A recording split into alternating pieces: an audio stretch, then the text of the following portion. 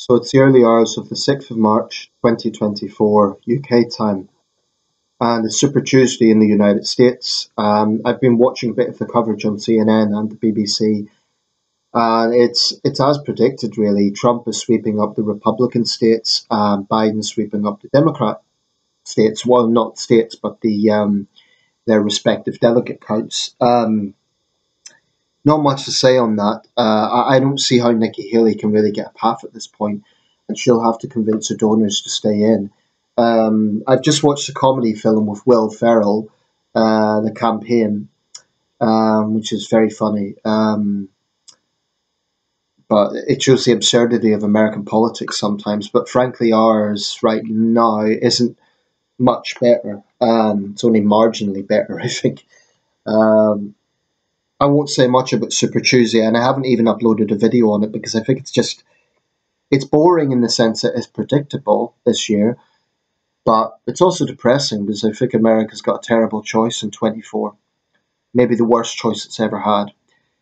Um, if I was American, I'd definitely go for Biden, but you know, it's it's not a great choice. I don't like how Biden's pandered to the woke left of his party but I think Trump is toxic. So um, I want to focus rather on the future of this country. Now, I saw a little data that shows retention, fewer retentions, about three minutes. So if you're still watching this, um, what I would suggest with my videos, because I do make longer videos, I don't do little five minute videos, um, multitask, go do washing up, uh, you know, um, watch a photo slideshow or something while you're listening to me because I do think there are important issues to talk about. So that's why I don't make my videos too short. Um, I wonder what direction this country is going in. I, uh, I think it's fair to say I'm politically homeless right now. I'm somewhat disillusioned. Um, but I, I don't say that I'm sitting on the fence because I'm someone who has strong views on things and I'm anything but apolitical. I think it's a mistake to assume that people who aren't kind of partisan towards one party are not political. In my case, it's the exact opposite. I'm very political. And that's why I take it seriously. Um, now, I accept that you're never going to have a political party even if you're a member of that party, or particularly if you're a member of that party, that you're going to wholeheartedly endorse every single position. Indeed, it's healthy for big parties to have internal debates. But as a voter, um, likewise, you're not going to have, or it's rare that you're going to have a party that you just agree with them on everything. Now, there are some people who are incredibly partisan, so there'll be people on the hard left who will, they, they hate the Tories so much that they will vote for any other party but the Tories. And likewise, you'll have people on the hard right who might vote for, well, they might vote for reform, but they'll do anything to stop Keir Starmer and the left getting back into power. I am not that partisan in the sense that, you know, I call myself a centrist.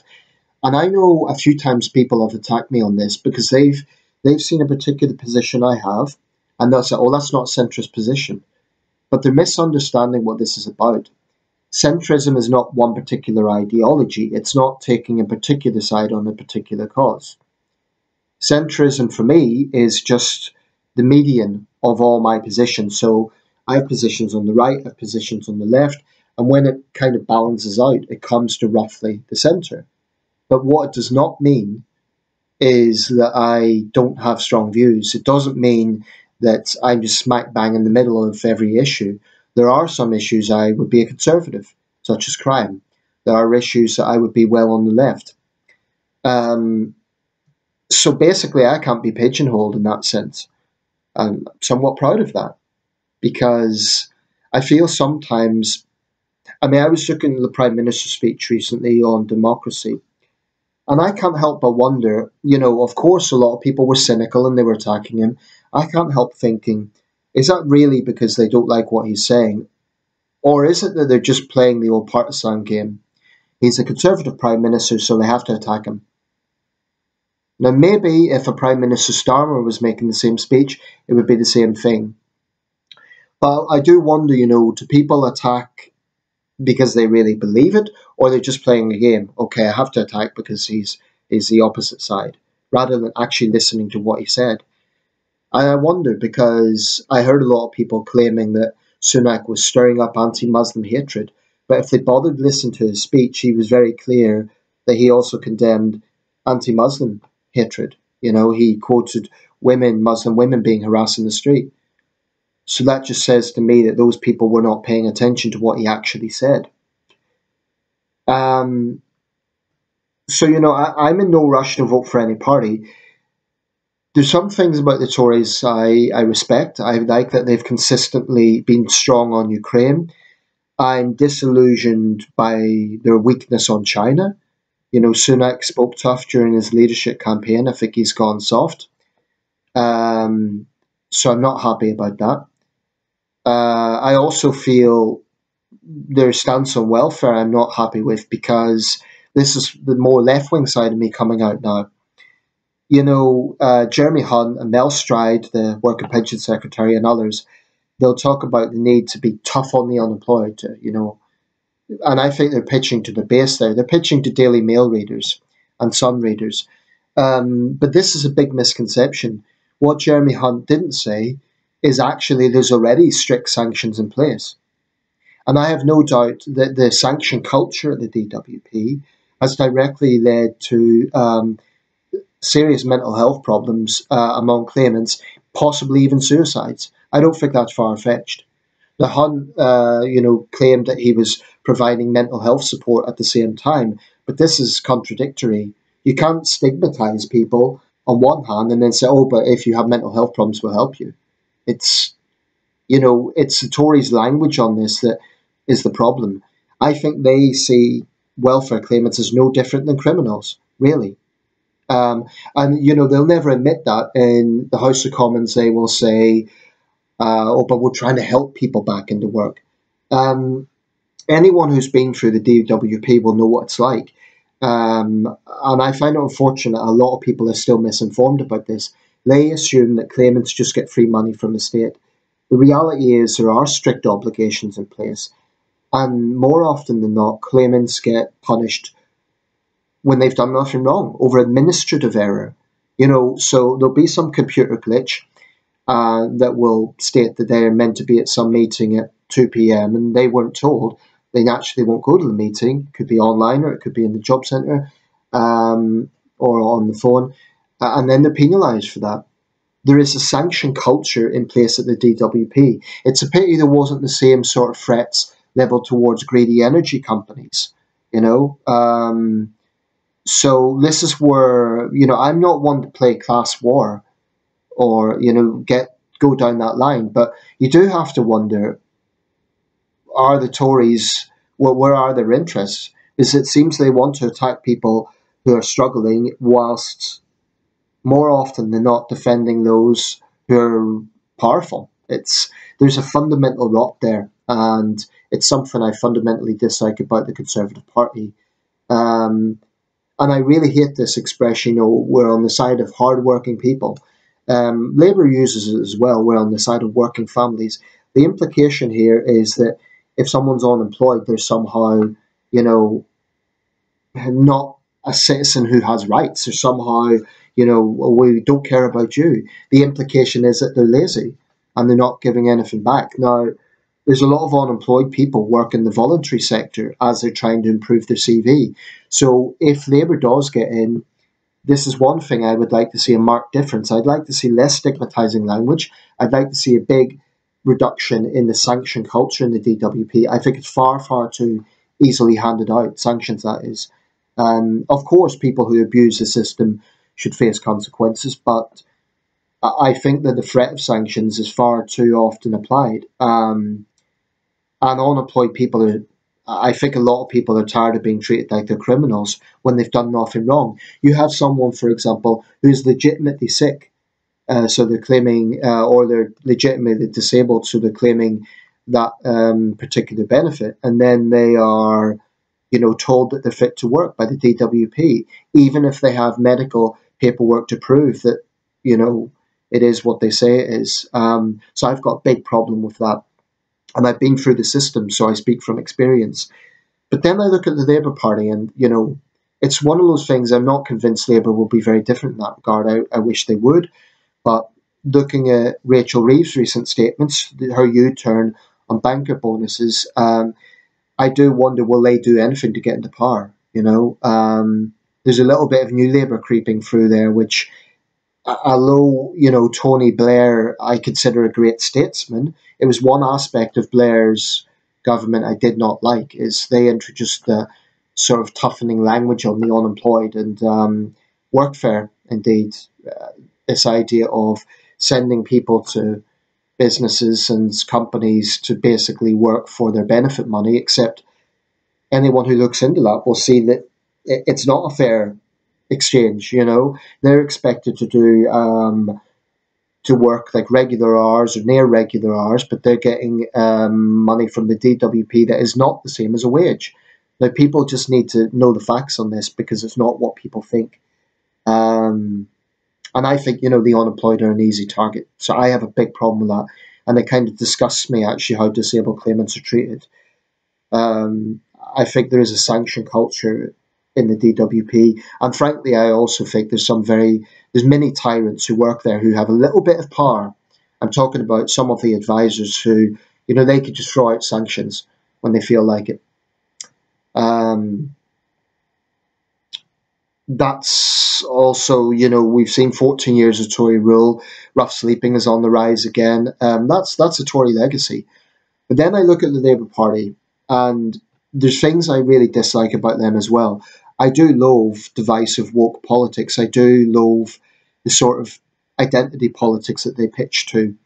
I mean, I think it's ironic to accuse the right of this.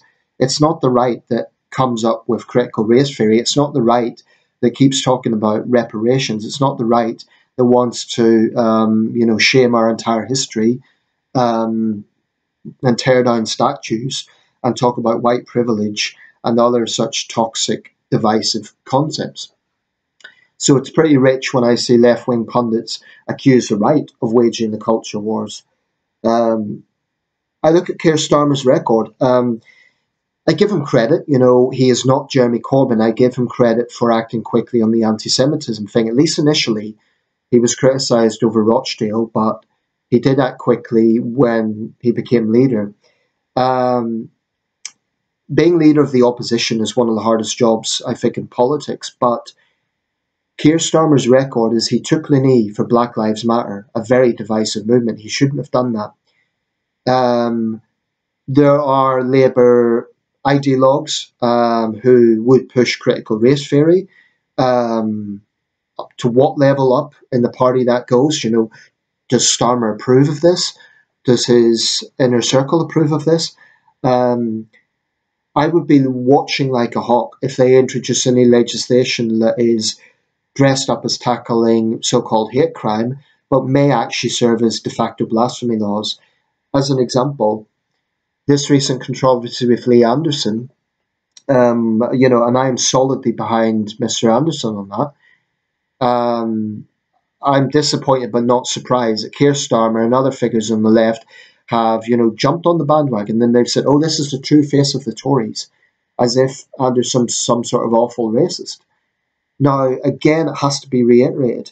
Lee Anderson was not talking about Muslims. He was talking about Islamist ideology. And frankly, even if he was talking about Muslims, which would be wrong and inflammatory, that's still not the same as a race.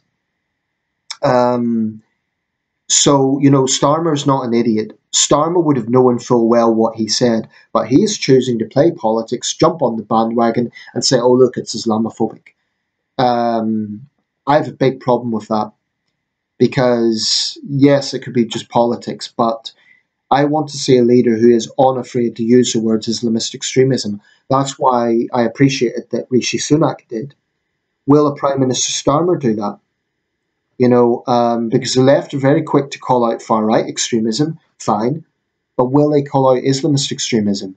Jeremy Corbyn could never, in his five years as Labour leader, issue the words or utter the words Islamist extremism. Will Keir Starmer? So far, I haven't seen it and I'd love to be corrected on that. Starmer will, of course, say he's prosecuted terrorists as head of the CPS. Um, that's fine, but language matters. The ideology of leaders matters as well as actions. Um, and I have a big problem with this weaponizing of the term Islamophobia. I agree with the Tories, anti Muslim bigotry is more appropriate because that refers specifically to bigotry against Muslims as people. The problem with Islamophobia as a term, it's a catch all, right? So it's basically saying you cannot criticize Islam. We don't hear of Christian phobia, we don't hear of Hindu phobia. Um, so why Islamophobia? I really would feel concerned that Labour might well bring in legislation that's dressed up as protecting Muslims that really is a de facto blasphemy law. That's something we need to watch very closely. Um, you know, Labour is probably going to win the general election, so these are the sort of questions I will ask before I vote for Labour. I actually want to have the motivation to vote Labour because does feel like it's time for a change, and I'm in no rush to vote for the Tories, but when it comes to foreign policy, I'm not too concerned there because there seems to be a united front on Ukraine, for example. Um, and definitely Starmer is much, much better than Jeremy Corbyn in that regard. As for someone like George Galloway, um, I don't think we should exaggerate his influence. Jacob Rees-Mogg said he's a maverick, so why is there so much attention on him? Although some would say he is as well. There's some truth in that, uh, and it is true that in a democracy, sooner or later, where you have a system where if someone, you know, they have finances and they have the support they can stand, sooner or later you are going to get unpleasant characters like George Galloway. Um, I just hope that when he gets up in Parliament, you know, to grandstand, and no doubt he'll point fingers at the government over Israel and Gaza. I hope whichever government minister he is berating, I hope they fire straight back. If I was a government minister, I would say to George Galloway, I'm not going to take lectures from the Honourable Member for Rochdale when he has met bloodthirsty dictators like Saddam Hussein. I would throw that straight back in his face. Um, I think they should. I think one problem with the whole Galloway thing is people have been too, they've tolerated him too much as rivals. Frankly, um, too many other politicians have been too timid in standing up to Galloway. I think he needs to be exposed exactly for what he is. Um, I think he's rotten. Um, but that's that. I also don't think we should exaggerate his influence. I do not see a situation where there's going to be worker party candidates sweep across the board. Galloway happens to have a certain gravitas. You know, he knows how to stir things up. That's why he won the seat, among other reasons. But you know, other candidates in the Workers' Party are going to have that sort of um, oratory skill or you know influence. So that's one thing to consider we shouldn't exaggerate his influence. Um, but I, I, look at the direction in this country, and I do feel concerned that uh, extremists are getting too much influence. And extremes take many forms. I mean, we've seen eco zealots in the form of just stop oil. We've seen extremes on the far left and the far right, it has to be said. I'm not blind to some of the things the far right come out with as well. I don't think the threat they pose is the same as Islamists, but you know they're out there. Um, but also, policing is a major, major issue here because policing is one of the things that we look at for a functioning democracy. And I think trust in the police is extremely low. I'm not going to say it's the lowest it's ever been. I, I don't know that as a fact, but it's certainly very low.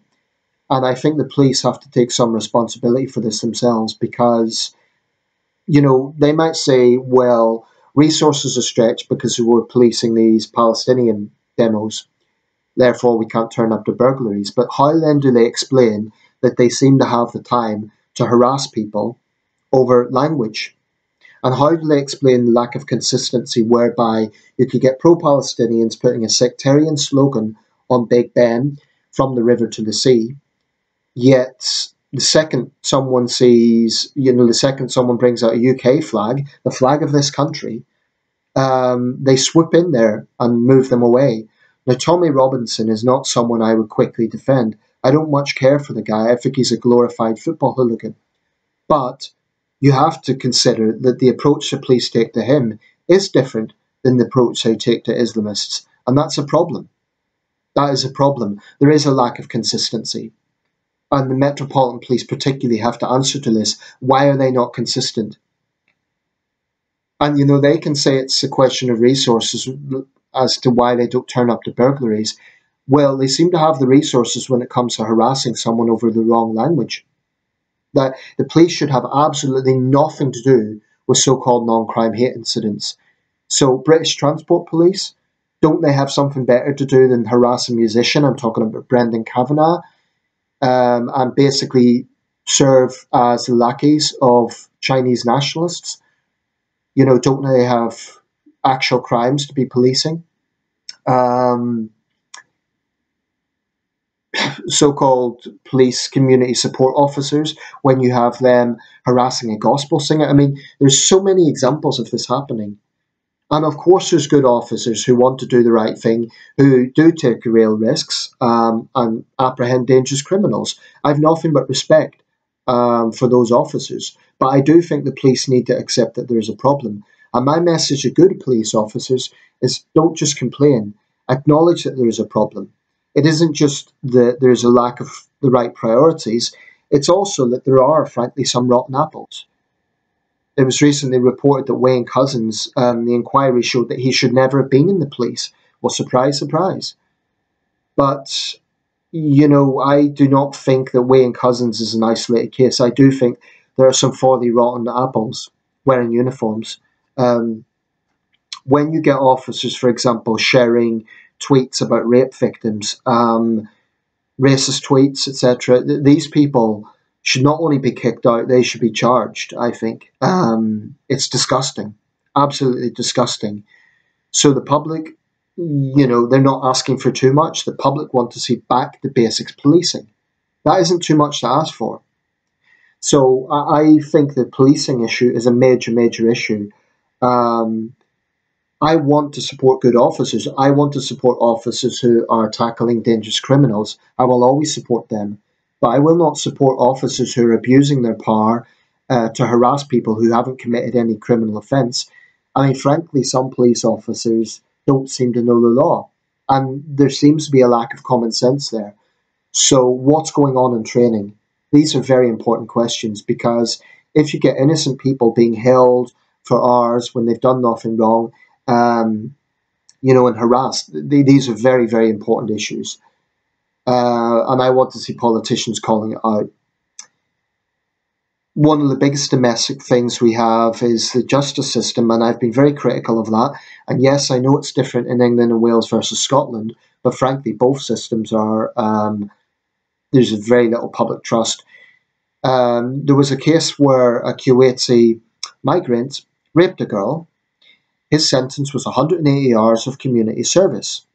Uh, Samantha Smith posted this on uh, Twitter. That's the sort of decisions that infuriate the public. Why not a custodial sentence? That is available. So, you know, people will say judges' hands are tied. No, I don't really buy that because judges have aggravating and mitigating factors. Why is it that they choose not to go for the maximum penalty available when the evidence indicates that should be the option? That should be the option that they're taking. I think that there are ideologically soft judges uh, they might say, well, we're not going to jail this person because of overcrowding. But really, when you have a crime as serious as rape, then overcrowding should be the secondary consideration. It shouldn't be the primary consideration. Um, I actually would favour building more prisons. I know that's controversial, and of course, like everything, it costs money.